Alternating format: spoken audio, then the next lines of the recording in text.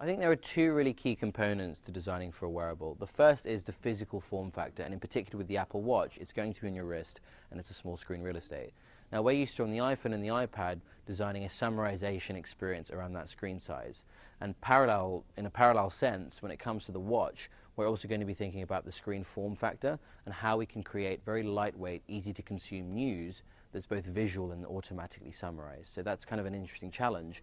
And the second for the developers is thinking about the usage behavior of a watch.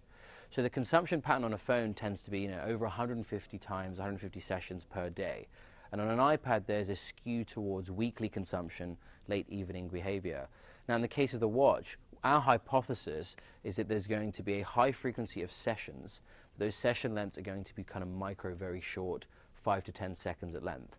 And so it's about designing a news experience that takes advantage of this lightweight, expendable consumption experience and also doesn't copy or overlap with what we already have on the phone.